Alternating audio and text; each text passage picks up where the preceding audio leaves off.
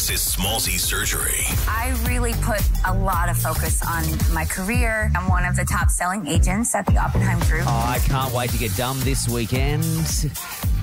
Every time I watch Selling Sunset on Netflix, I just feel like, God, they're dumb.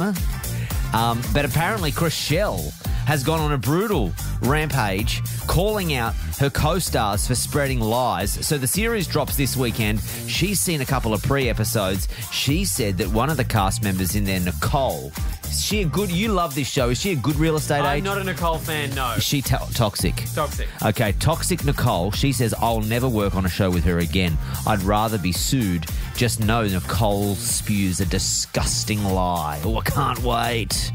Do their faces move much when they're angry on that show? There's like no movement in their No, faces. The Botox and the filler up the yin yang. Smallzy Surgery. is a Nova podcast. For more great shows like this, head to novapodcast.com.au.